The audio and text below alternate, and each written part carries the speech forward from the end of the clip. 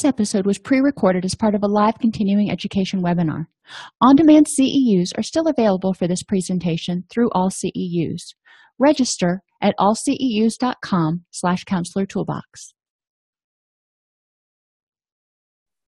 I'd like to welcome everybody to today's presentation on cognitive behavioral interventions for post traumatic stress disorder. I am Dr. Dawn-Elise Snipes. Tonight, we're going to review the symptoms of post traumatic stress disorder real quick because most of you are probably already familiar. And we're going to explore interventions in the following areas uh, acceptance and behavioral or acceptance and commitment therapy, dialectical behavior therapy, cognitive processing therapy, and a few other cognitive behavioral techniques. We're also going to look at behavioral techniques, including exercise, sleep, nutrition, and relaxation, because cognitive behavioral is guess what? A combination of both. So we want to look at how this might happen. But first, we're going to start after we review the symptoms for PTSD, we're going to look at why cognitive behavioral therapy might be helpful. And then we'll move into our interventions. So, PTSD symptoms in the DSM 5, they added a fourth category of symptoms. And so it's a little bit different than it was in the DSM 4, but not too much. You have the category for re experiencing the traumatic event or intrusive symptoms that can be memories, flashbacks, nightmares, feelings of distress when reminded, or intense physical reactions to reminders. PTSD uh, symptoms of avoidance and un- emotional numbing is another category where people have to have symptoms. Avoiding reminders of the trauma, inability to remember important aspects of the trauma, that one really frustrates a lot of people who have PTSD because they really want to remember what happened. They want it to make sense. Loss of interest in activities and life in general, feeling detached from others or emotionally numb, and a sense of a limited future. The third category is symptoms of increased arousal or hypervigilant, difficulty falling or staying asleep, irritability, outbursts of anger, difficulty concentrating, hypervigilance, constantly being on sort of red alert, and feeling jumpy and easily startled. And the fourth category is negative alterations in cognitions and mood, characterized by an inability to recall key features of the trauma, overly negative thoughts or assumptions about oneself and the world, exaggerated blame of oneself for whatever happened, or blaming others for whatever happened, negative affect, decreased interest in activities, and feelings of isolation. Like I said, most of you are probably super familiar with all those, but for the sake of, you know, being well rounded, I wanted to go over those symptoms really quick. So let's talk about what happens in trauma, though, because in order to understand how we're going to treat it, we need to understand kind of what's happening and how what we're doing is supposed to be affecting the person. So, when people are exposed to stressors, the HPA axis, I call it the threat response system, uh, and the amygdala are activated and they go okay there's a threat going on. We need to release cortisol which we all know is the stress hormone which triggers the fight or flight response. So we have excitation activation. The person is ready to fight or flee. They their heart rate's faster they're breathing faster which is great in the short term because that helps us survive. That is the awesome thing about the hpa axis. It helps us survive Sustained exposure to cortisol, however, has an adverse effect and impact on the hippocampus, which is part of our brain that's responsible for uh, learning and memory. And it results in reduction of neurons, and the dendrites don't branch as much. So we don't have as much connectivity going on in there. And you'll learn in a little while that reduced volume of the hippocampus is also a key feature in uh, PTSD. Well, what happens if memory and learning, you know, we're talking about cognitive behavioral therapy here, where we're helping people cognitively process. Well, in order to cognitively process what's going on and address how they feel and what they're thinking, you know, memory and learning is kind of involved in that. So if during trauma, that area is kind of sucker punched and it starts to lose volume and lose, lose connectivity we can see where there might be problems. Doesn't mean that it's permanent. You know we can help people develop reconnections. Think about people who have strokes or traumatic brain injury. Our brains are really awesome because they learn how to do workarounds. It's like okay we got a roadblock here where something happened. Let's branch and do something a little bit differently a blunted response to cortisol stimulation indicates pituitary receptors in the HPA axis have been downregulated in patients with PTSD. So, what that means is when cortisol is sent out for the fight or flight response, people with PTSD at a certain point may not react with the same level of excitation as other people because their body has downregulated. It said, you know what? We can't we the body cannot deal with this much stress and this much ex- excitation for this long. We need to conserve energy for when there is you know a super duper threat out there. So we're not going to get quite as fired up. Now on the downside of that is when they do get triggered when there is a cortisol response it tends to be a dysregulation. So the person gets really upset. They go from you know not being too upset to terrified Hypocortisolism and PTSD occurs due to increased negative feedback sensitivity of the HPA axis. Again, it's being downregulated, so not as much cortisol is being sent out. The brain goes, you know what? I can't deal with all these stressors right now. I'm, I'm just, I'm done. I need to conserve energy because I can't win this fight, whatever this fight is right now. Early adverse experiences, including prenatal stress and stress throughout childhood, has a profound and long lasting effect on the development of neurobiological symptoms, which may program subsequent stress reactivity and vulnerability to develop PTSD. What we've learned so far is people who are experiencing stress activate their HPA axis. In the face of chronic stress, and chronic act- activation of that HPA axis, cortisol levels go down. The HPA axis, there's primary and secondary hypocortisolism, but the HPA axis basically down regulates. What you're going to learn in a few minutes is that people who have hypocortisolism when they're exposed to a trauma, so people who've had chronic stress or trauma in their past who are exposed to a new trauma are at a higher risk for the development of PTSD because of that hypocortisolism. So, one of the takeaways here is really important that we intervene early, early intervention, prevention to help people not experience chronic stress. So, if they're faced with a traumatic event of any sort, it can be a car accident, it could be a death of a family member, whatever if they're in a situation where they're faced with a trauma that they're not experiencing hypocortisolism already because we know that that's a risk factor. Hypocortisolism plus trauma can can lead to ptsd so anyway the hippocampus, which, as I said earlier, is involved in learning and memory, and the prefrontal cortex, which is where we do our impulse control and higher order thought, mediate the HPA axis. So, our memories in our hippocampus can say, you know what? I remember this. It's really not that big of a deal. Chill out. The uh, prefrontal cortex, on the other hand, can look at it and objectively assess the situation and go, you know what? We're good right now. We don't need to fight or flee. You know we can table that impulse for right now.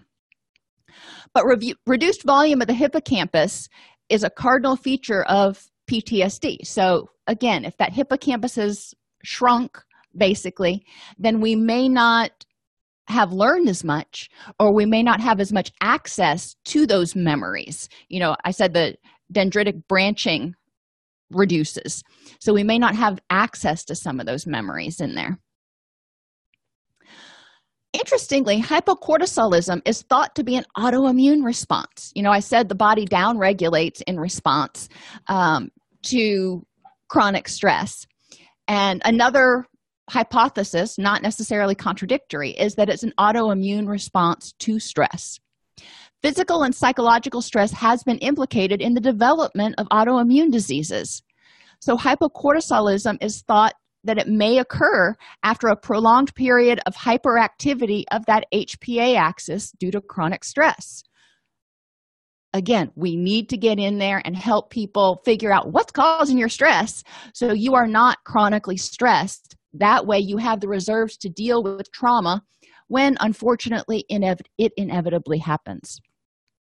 The phenomenon of hypocortisolism has been reported not only for people with PTSD, but also for healthy individuals living under conditions of chronic stress, be it emotional or physical. You don't have to have PTSD to have hypocortisolism, but if you've got it, you're at a higher risk. Glucocorticoids, or cortisol, interferes with the retrieval of traumatic memories, an effect that may independently prevent or reduce symptoms of PTSD, which makes sense. If you don't have enough cortisol and you're exposed to a trauma, then you're more likely to solidify those memories and experience PTSD. If you've got enough cortisol, then interestingly, the brain says, you know what? You don't need to remember that right now for all intents and purposes during this stress situation, and it actually prevents the formation of some of those traumatic memories. Hypocortisolism might be a risk factor for maladaptive stress responses and predispose people to future PTSD or stress related bodily disorders, including any of those autoimmune diseases that are out there. And there's about 20 of them. Another interesting little fact simulation of a normal circadian rhythm or cortisol rhythm using exon, ex, externally introduced hydrocortisone is effective in the treatment of some symptoms of PTSD. Now, this is not to say go out and start encouraging people to use steroids or something to increase their cortisone. No, no, no, no, no. What is interesting is that when the circadian rhythms are in balance, the nor- your normal cortisol goes up first thing in the morning. That's why you wake up and get out of bed, theoretically, and it gradually decreases during the day and it's at its lowest point when it's time to go to bed. With people that have hypocortisolism, that cortisol may never go up. So it's hard for them to get out of bed. They may feel kind of depressed, withdrawn, negative, you know, one of those symptoms of PTSD. Core neurochemical features of PTSD. And y'all know that I am a huge fan of um, neurochemistry. Regulation of dopamine, norepinephrine, serotonin, and opioid neurotransmitters is all dysregulated. Each of those neurotransmitters or receptors for those neurotransmitters is found in brain circuits that regulate and integrate stress and fear responses. Well, hello. There's some interesting stuff there. Now, one thing I do want to um, point out is that dopamine, most people think about dopamine as our pleasure chemical, and that's kind of a misnomer. Dopamine is actually our motivation chemical. It's our go after that and get it again chemical. Our endogenous opioids are the ones that are more the pleasure chemical. So when dopamine goes up, op- opioids also tend to go up.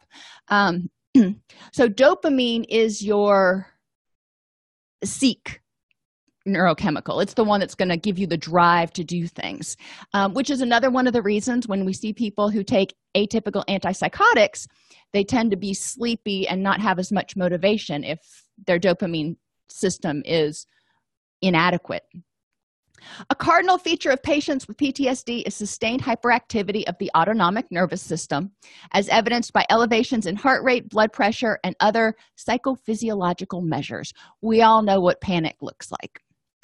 Patients with PTSD exhibit increased heart rate, blood pressure, and norepinephrine responses. So, stress response, increased HPA axis in response to traumatic reminders. You don't have to be in that situation again. Anything that reminds the person of the trauma can trigger to a greater or lesser degree their HPA axis, which again tells you that you're you've got somebody with PTSD who's going to have a more sustained HPA axis activation as they're exposed to various triggers. And it can be anything from commercials on TV to smells to sights to places to people, whatever. And this is where cognitive behavioral comes in. We need to help them start identifying some of those traumatic r- reminders and figuring out better ways to cope with them so it doesn't trigger that HPA axis response. Chronic exposure to stressors induce, induces upregulation of 5-HT2, which is one of the serotonin receptors, and downregulation of 5-HT1A. Now, the takeaway from this, if you don't want to get into all the neurochemical stuff, 5-HT1A is the one that is usually implicated or um, talked about in terms of depression and anxiety, and that's where your SSRIs generally target is that 5-HT1A receptor. The 5-HT2 axis is actually more responsible for anxiety, appetite, cardiovascular function, GI motility, alertness, and vasoconstriction. Well, all of those in HPA axis activation, when there is more of the serotonin, um, all of those tend to be affected. People get more anxious, their heart goes faster, their GI motility increases, uh, they become more alert, hypervigilant. Uh, so there's a lot of stuff that we see that makes sense.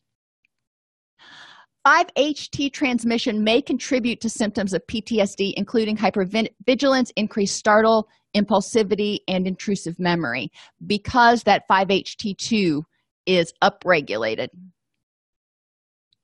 And remember, 5-HT, any of those are your serotonin receptors. So increased levels of ser- certain serotonin receptors can be responsible for a lot of the uh, symptoms we see in PTSD. To kind of summarize, hypocortisolism is a key feature in PTSD. It probably results from an autoimmune reaction. Autoimmune reactions are triggered or worsened by stress. So, people with PTSD may have excess dopamine, norepinephrine, and insufficient serotonin at the H1 receptor. So, we want to increase that uh, um, 5-HT1A receptor serotonin.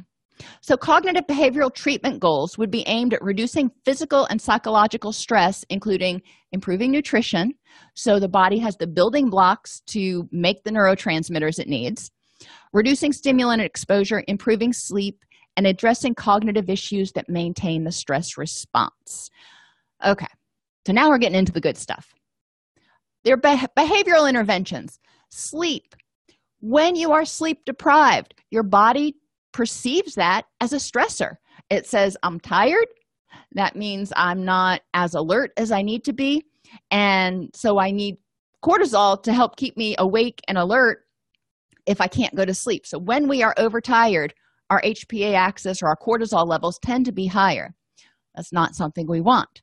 People with PTSD tend to have very poor sleep, insomnia, you know, or difficulty sleeping. One of the key interventions they found is to work with people to help them um, improve their sleep. And that'll help reduce some of their hpa axis um, reactivity. Think about when you're sleep deprived. Does the world seem a little bit more difficult to deal with? I know for me it does. I'm just like really? I can't take one more thing. Um, maybe that's just me. But there are a lot of people who experience stressors more intensely when they are sleep deprived. Uh, think about if you've ever had children you know when they first come from from come home from the hospital and for the first you know, three six months they're not sleeping through the night which means you're not sleeping through the night. And you know it gets a little bit challenging sometimes Sleep is really important. Have people examine their sleep hygiene, create a sleep routine. Um, on our YouTube channel, there are a couple of videos that go in depth on helping people improve their sleep. Nutrition is another one. And again, on the YouTube channel, there are, or on the podcast, there are other um, episodes that cover nutrition for mental health. But suffice it to say that your body, in order to make serotonin, norepinephrine, dopamine, GABA, all of those neurotransmitters, it has to have proteins. It but in order to make those proteins into the neurotransmitters, it also has to have a certain amount of various vitamins and minerals from calcium and folate to iron and magnesium and yada yada a good balanced diet is essential to make sure that people are actually able to create the neurotransmitters they need to feel balanced. We need to help them stay hydrated for cellular function. If you think about how everything communicates in our brain and our body it communicates through chemical signals and these chemical signals require fluid. You know that's why dehydration is so challenging. Um, we need to make sure that people stay hydrated. That's not going to be the be all end all but it's another one of those goals that we can set for people. Help them exercise for oxygenation and to increase in their serotonin. They've done study after study after study that has shown that exercise can help people reduce muscular stress. You know we store stress in our back and everything else. When we exercise it tends to help us loosen up and it increases oxygenation throughout our body which is another good thing for mood and everything else. And it they've shown that exercise actually does increase serotonin levels. So why not? Now exercise does not have to be going to the gym. It can be playing with your dog. It can be closing the blinds so nobody can see you and dance like nobody's looking. Whatever it is that moves your body is exercise. And it doesn't have to be 30 solid minutes. You know that may be way too much for some of our clients. If they can do a commercial break while they're watching tv maybe they can do crunches or whatever their doctor approves. That is exercise anything to get their body moving. And eventually we'd like to see them get to the point of getting at least 200 minutes of moderate exercise per week, not per day, per week. We want to help them eliminate unnecessary stressors, and that's a behavioral thing. If you don't like driving in traffic, if it stresses you out, well, then how can you get around that? Can you take the train into work? Can you um, carpool into work? Can you leave earlier so you're not driving through traffic? Can you work from home? think about different ways and you know have clients list all of their stressors no no stressors too small let's just get them all out here and and lay them all out. You can do it on index cards. You can do it on a whiteboard. I prefer the whiteboard so we don't kill trees but whatever. And let's figure out everything that stresses you out. And then let's start marking off the ones that you can just work around or get rid of. And then what's left let's figure out how to mitigate those. Encourage things to encourage people to do things they enjoy to relax. Life is not just about work and sleep now sleep's important and and so is work but we also need to have time to relax one of the activities i do with my group sometimes is i'll bring in a box and i'll have representations of different stressors. I'll have bills in there and a little toy car that's been banged up and various other stressors. And I'll have all those in the box. And I'm and we talk about reducing stress and eliminating stressors. And so we talk about how to eliminate each one. I pull them out of the box. And then when we're finished, I show them the box and I'm like, well, what else is in here? There's nothing you have to add in the positive because you want to fill yourself up with positive if you just eliminate the negative the positive generally doesn't magically spring up we want to help them figure out what makes them happy and encourage them to do something for 30 minutes a day i know that's a big big jump for a lot of people. 30 minutes a day that they enjoy and it helps them relax. And they should laugh often. One of the quote prescriptions i give to a lot of my clients is i want you to listen to some sort of comedian or some do something that makes you laugh for 10 minutes a day. And laughing for 10 minutes is a lot. But you know you can find 10 minute videos or whatever on tv that are on youtube that are, are really humorous and a good laugh can increase your immune system as well as reduce cortisol levels. That's you know better than any drug can do in in many ways. Another behavioral technique is environmental grounding. Encourage them to look into feng shui or just look around their room their office their car their home and eliminate unnecessary stress. When they're sleeping you know they don't want to have a window behind their head if possible. They want to be able to see all entrances and exits to the room. That's just a feng shui principle. You don't want to ha- be able to have somebody sneak up on you. Because when there's a possibility of that then we tend to have this low level of anticipation. Encourage people to look around so they have an environment where they feel like they're not going to be trapped. They feel like they're free they're safe and they f- feel like they're free from getting startled. And that can be by somebody walking up on them or even by loud noises. We have dogs and when the when the ups man comes it gets really really loud. Um, if somebody has aversion to loud noises like banging cabinets or barking dogs whatever. They may consider at certain times of day when they're trying to relax having noise canceling headphones on and that can help blunt that startle response so they're not jumping out of their skin.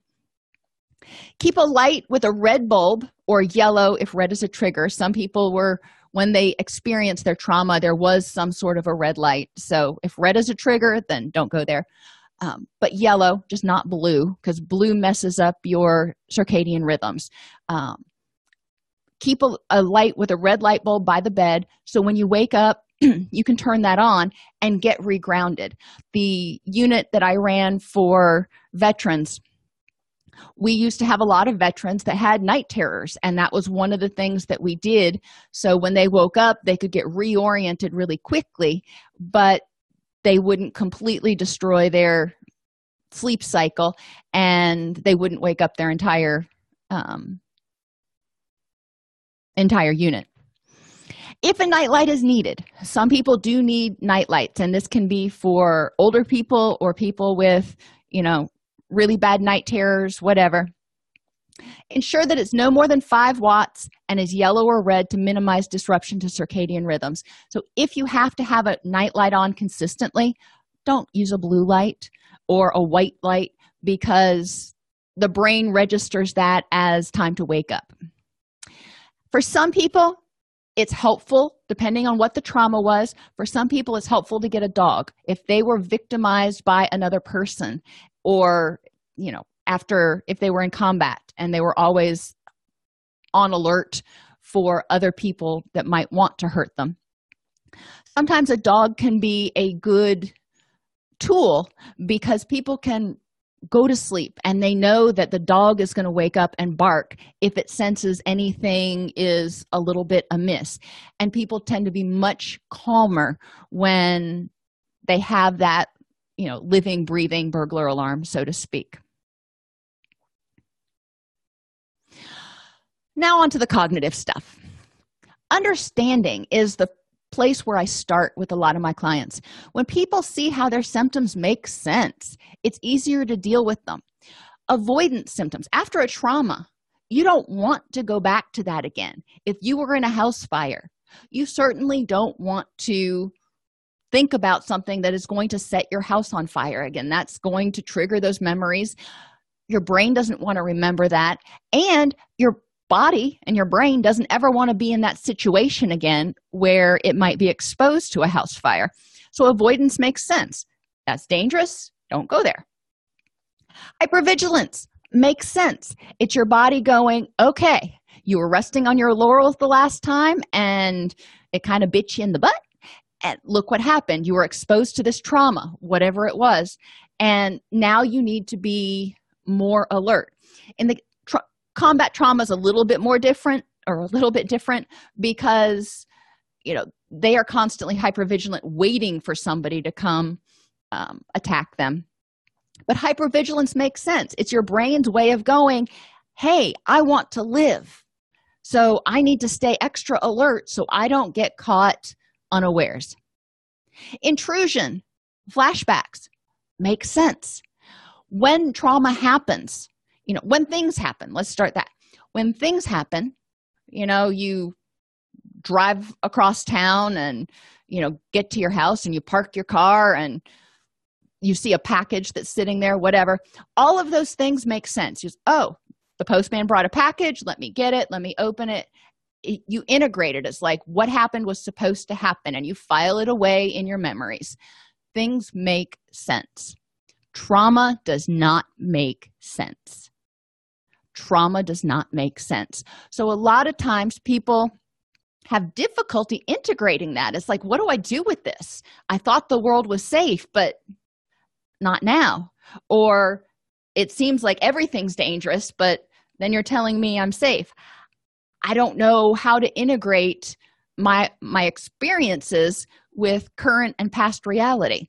So they're stuck with this thing in their amygdala going okay there's this traumatic reaction and we really don't want to go back there again but i don't know what file to put it in what memory file. So it's hanging out there kind of like a loose end. And negativity. Well you know think about it. After something bad happens and you don't know exactly how to deal with it so you want to protect yourself instead of saying okay that was a bad situation. You know everything else is fine. We tend to overgeneralize to a certain extent and we may become more suspicious of other people. We may become more um, negative in our interpretations looking for ulterior motives. It makes sense. We want to survive. Once people realize that and they start saying okay you know i thought i was just you know weird or something.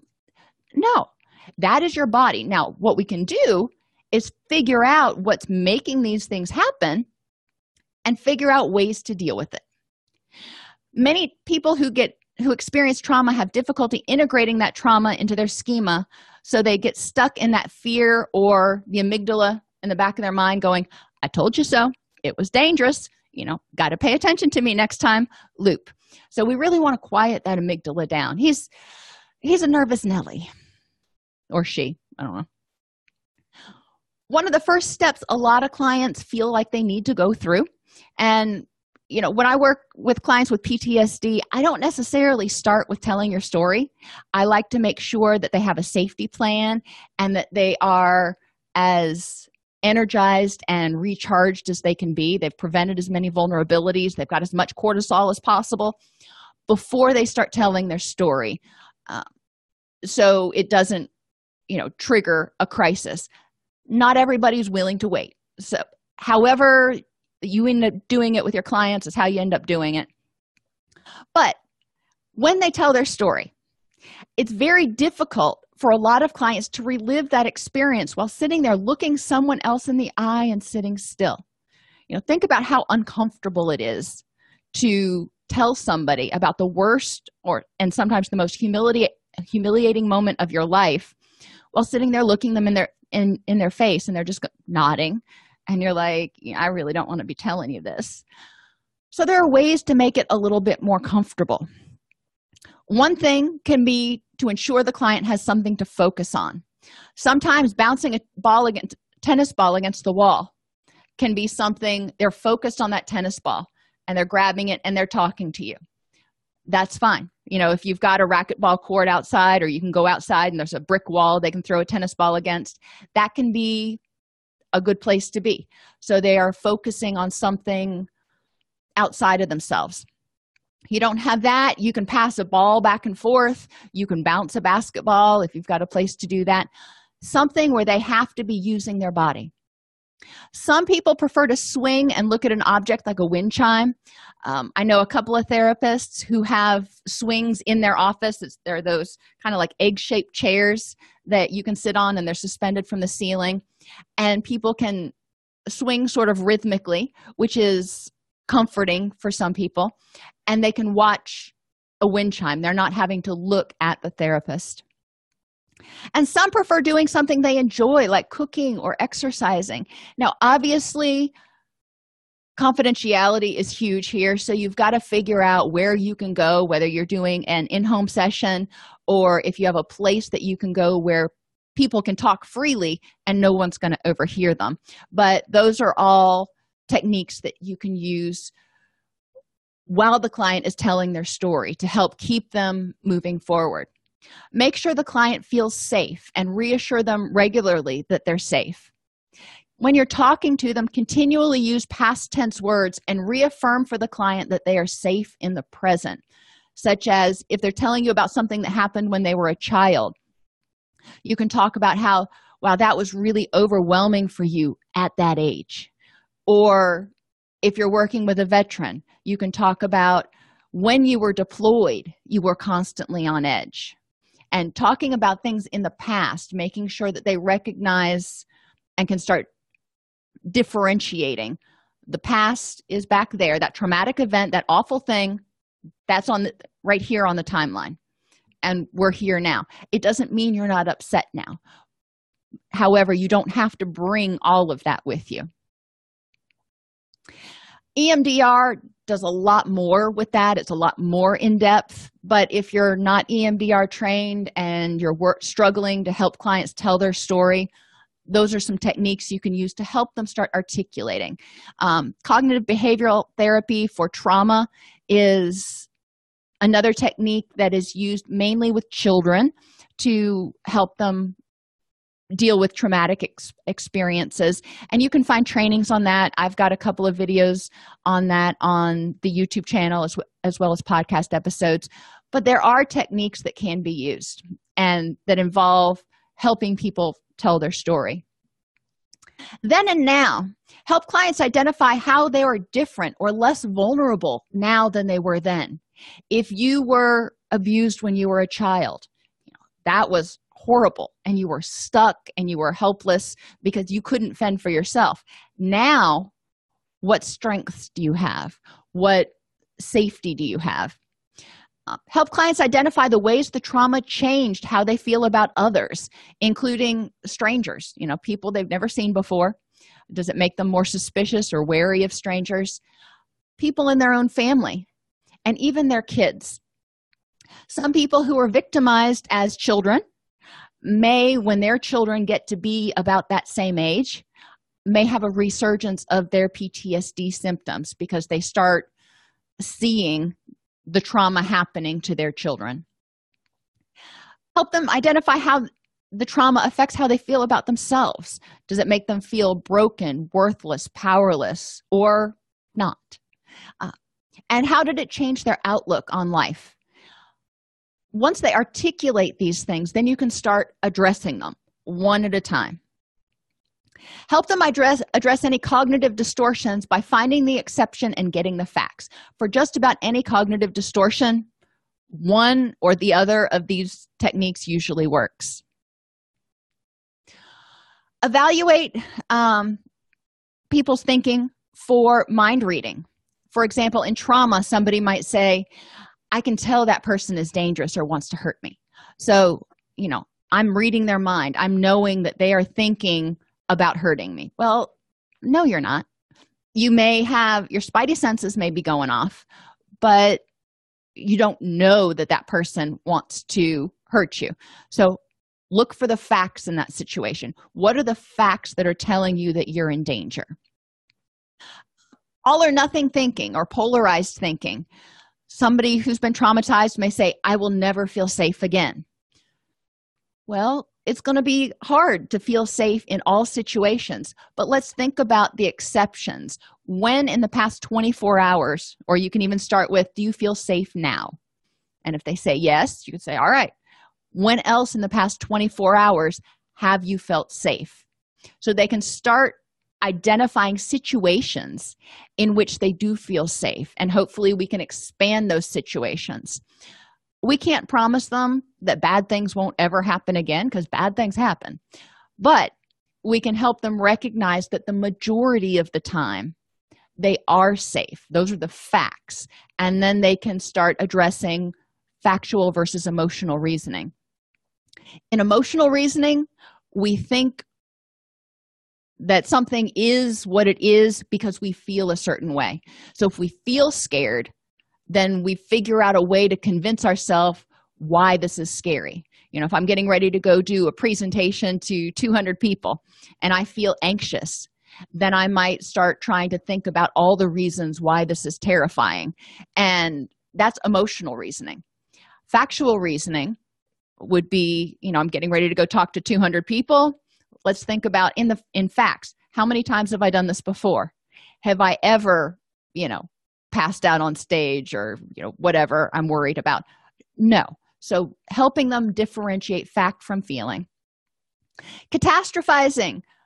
My life is over. I'm ruined. There's a lot of that foreshortened future sort of thinking that happens after trauma.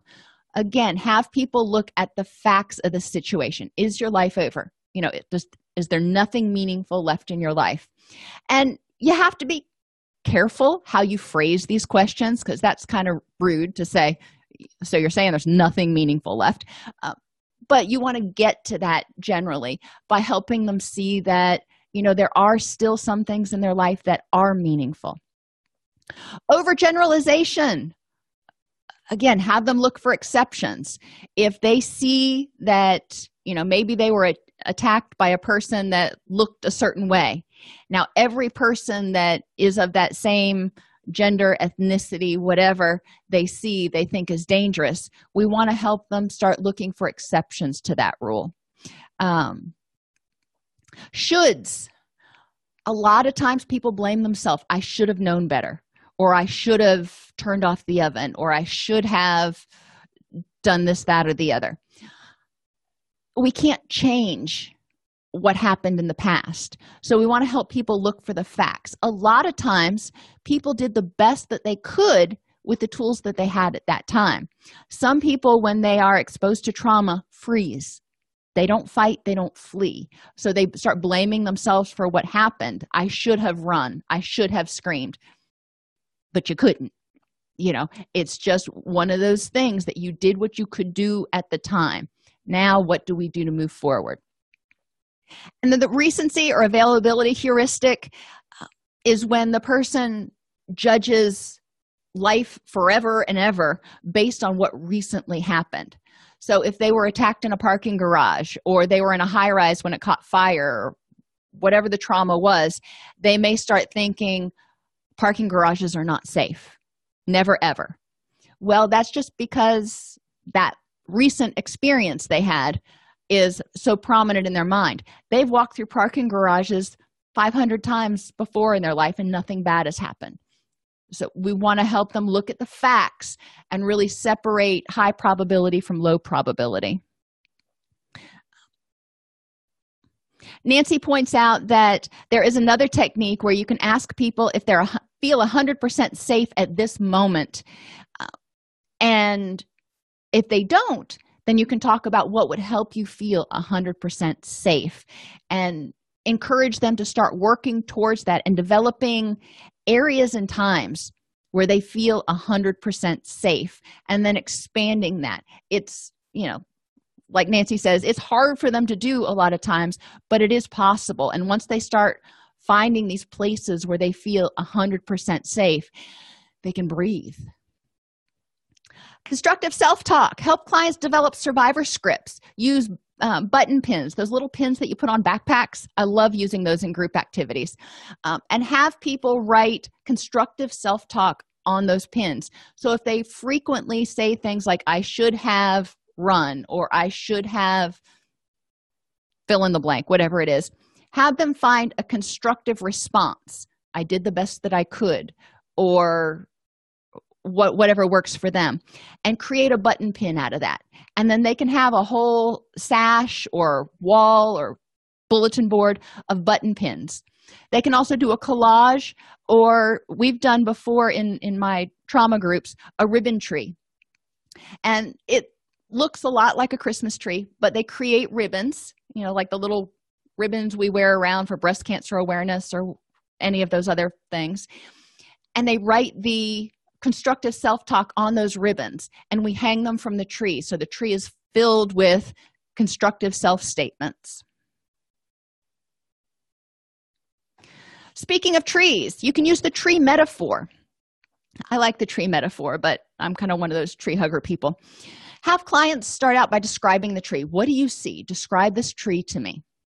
Then have them describe how the tree might represent their life and you know you can spend quite a bit of time on this in group. Ultimately what we want to get to is trees are beautiful vibrant and full of life. Their sturdiness provides shelter for vulnerable creatures.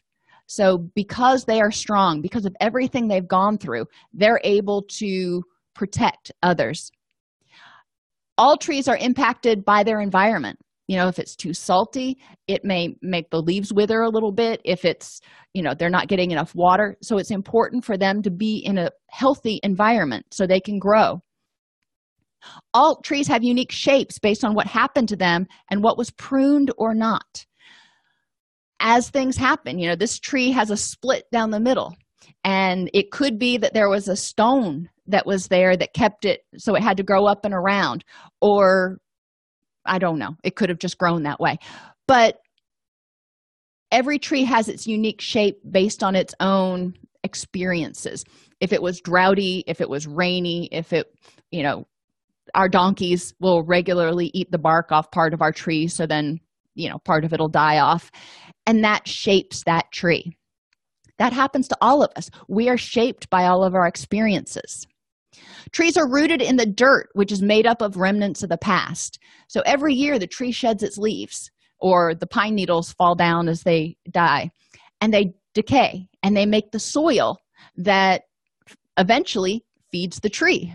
So what we create what we're exposed to we also use to feed ourselves. So we want to expose ourselves to positive things and feed ourselves with positive things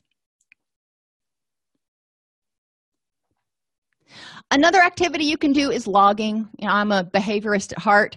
Keep a log of flashbacks or startle responses or both.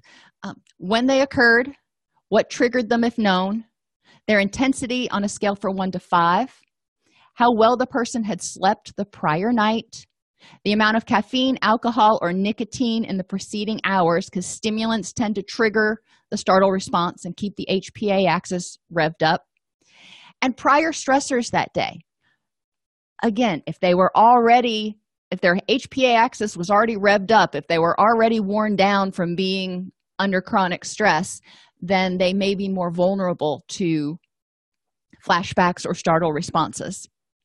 Use these logs to help people chart the reduction in frequency or intensity of the intrusive or hypervigilant symptoms. If they feel like they're not getting any better you know let's look. Let's see if maybe you're still having flashbacks twice a day. But the intensity has gone from a five down to a two. Okay. You know you're still having them and we'll work on that but the intensity is decreased. We want to help them see those small steps in the right direction. And the logs can also help them identify triggers or vulnerabilities such as too many stimulants or not enough sleep. And it starts helping them see how their body and taking care of their body is so important in helping address the ptsd symptoms ABCDEF is one of your basic cognitive behavioral strategies. It's effective for anxiety and negativity. I don't ever use this for intrusion because intrusion is not something people, I don't want them to think that they bring it on themselves. Um, I want them to use this in order to address things that they do have cognitive control over and they can choose not to think that. So, activating event what happened? You know somebody you saw a, you saw a fire truck drive by and it reminded you of when your house caught on fire. Okay.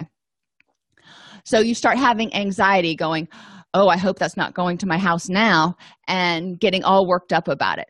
So you get upset those are the consequences encouraging people to look at the beliefs about this activating event, the beliefs about that fire truck that went by that triggered their anxiety, and dispute them for their rationality.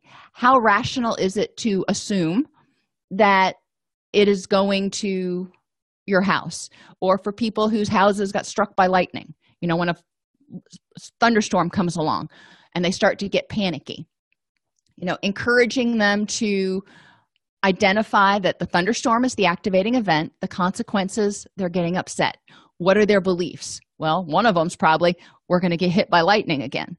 So then addressing whether that is probable or not and figuring out how to address it. And then e is evaluating the most productive outcome. So let's stick with the the lightning for right now is worrying about it worth my energy? No. You can't control whether lightning is going to strike you or not. You know you can be inside and you can be in a safe place but after that you can't control whether it's going to hit your roof unfortunately.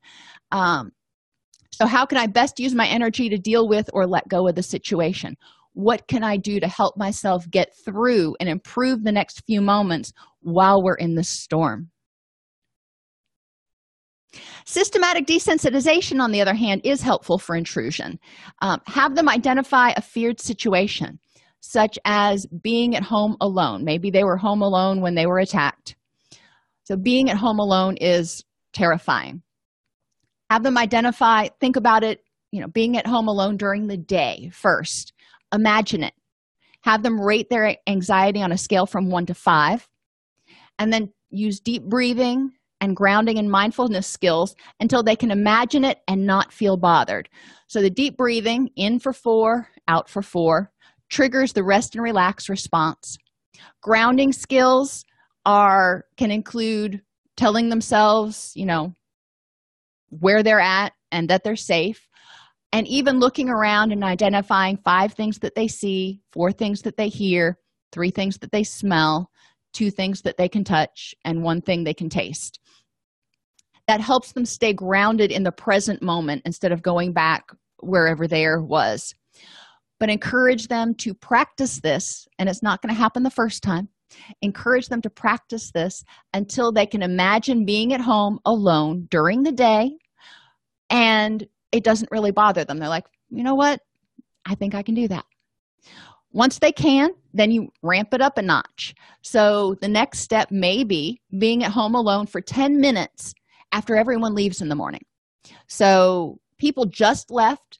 So you know that you know there's lots of activity going on. You know you were safe 10 minutes ago. Can you feel safe for 10 minutes? Once they get to the point where they can imagine it and not feel anxious take it up another step such as stay home alone during the day for 30 minutes when you know a neighbor or that your that is your friend is home so you know you could call that person and they would come right over. Um, get to the point where the person can do that without getting anxious. Then staying home alone during the day for an hour. And then staying home alone until it gets good and dark. You know it gets dusky and then it starts to get dark. I remember when i was a little kid as soon as it started to get dusky i was like okay when's mom getting home. Um, and then staying home alone after dark. And then the biggie for a lot of people is going to sleep when they're home alone. And there may be other steps in between for different people but basically it's like a ladder and you want to help them gradually get to the point where they can approach their feared situation and not feel anxious. They start out by being able to imagine it and then they work up to being able to do it without experiencing high levels of anxiety. Dialectical behavior therapy is awesome for anxiety, negativity, withdrawal, and avoidance, and even to a certain extent, intrusion. You want to prevent vulnerabilities, which means help the person figure out what they need to do so they're on their A game. So they're as rested and their cortisol's all in balance and everything as best as they can. Good sleep, good nutrition, good social support, all that stuff. Encourage them to practice mindfulness to prevent vulnerabilities so they're aware of how they feel in the moment and they notice when they're starting to get tired or they notice when they're starting to get stressed so they can address it early. And use mindfulness to prevent or mitigate triggers. When they notice something's going on, then they can address it earlier. Or if they're at a friend's house or even at home watching tv and a commercial comes on. Commercials are big triggers for me. Um, and a commercial comes on or a television show has a scene in it that's triggering they can ground themselves and they remember those triggers or they remember those um, techniques such as five four three two one. Help them understand that distress is inevitable because if people are trying to recover from trauma and they think well i need to make it all go away they're going to be sorely disappointed. But they can develop distress tolerance skills including urge surfing and the acronyms um, accept and improve. And those are things that you can look up online or on the in the dialectical behavior therapy episode. But accept stands for activities comparisons contributing emotions pushing away and sensations. In order to help people get through that place where they're feeling the adrenaline rush until they can get into their wise mind and decide what is the best next step. Improve stands for imagery meaning prayer relaxation one thing at a time. Take a mental vacation and encouragement self encouragement or encouragement from others it doesn't matter. Let's get some encouragement. And dbt also encourages people to embrace the dialectics recognizing that every situation has good and bad aspects. So if they can embrace the bad with the good then it's going to be a much easier road than trying to find situations where there's only good and there's no bad. It just really doesn't happen acceptance and commitment therapy is another great tool that can be effective for anxiety negativity withdrawal and intrusion. In act people learn to accept what is in the moment. It is what it is. And in dbt they call it radical acceptance. In act people learn uh, how to diffuse from their thoughts so they're not connected to it anymore. Instead of saying i am terrified or i am in danger. That's fusion with your thoughts saying i am having the thought that i'm terrified or i'm having the thought that i'm in danger. Because all of us who are getting older know that thoughts can come and go even before you make it into the room to remember what you were going in there for. But thoughts are different than who we are. ACT encourages people to define their goals and values so they figure out what's important to them. What do I want to focus on? What things do I have going for me? And choose purposeful action. Choose to do the next thing that's going to help them get closer to their goals.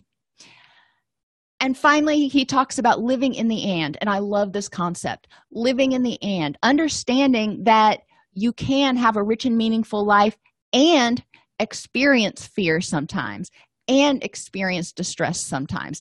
I can stay home by myself and feel anxious. You know, I can do both of those and I can get through it. Cognitive processing therapy is effective for anxiety, negativity, and withdrawal.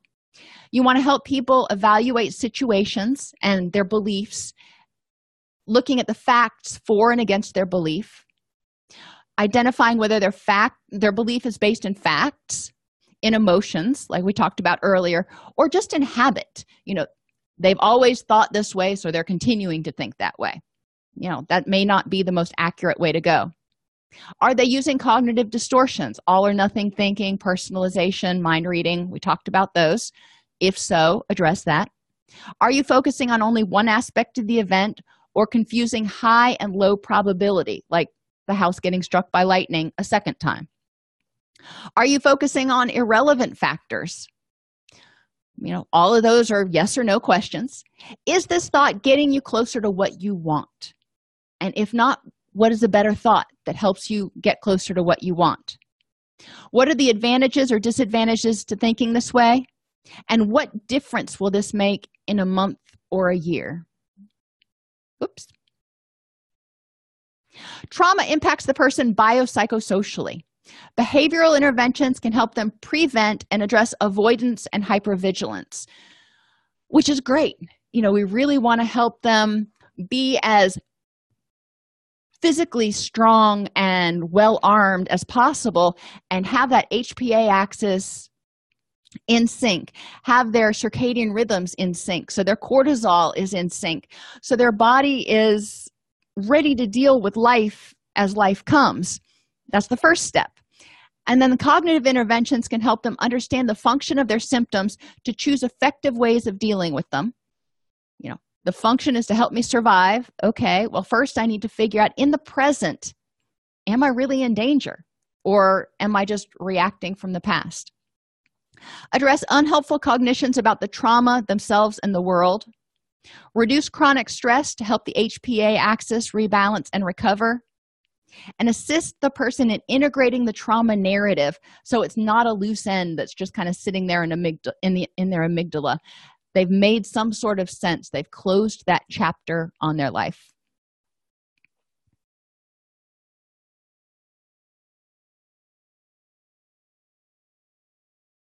Between writing notes, filing insurance claims, and scheduling with clients, it can be hard to stay organized. That's why I recommend Therapy Notes. Their easy to use platform lets you manage your practice securely and efficiently. Visit therapynotes.com to get two free months of therapy notes by just using the promo code CEU when you sign up for a free trial at therapynotes.com.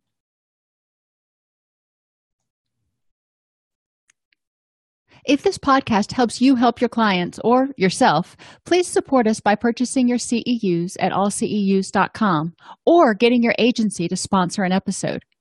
A direct link to the on-demand CEUs for this podcast is at allceus.com slash podcast CEUs.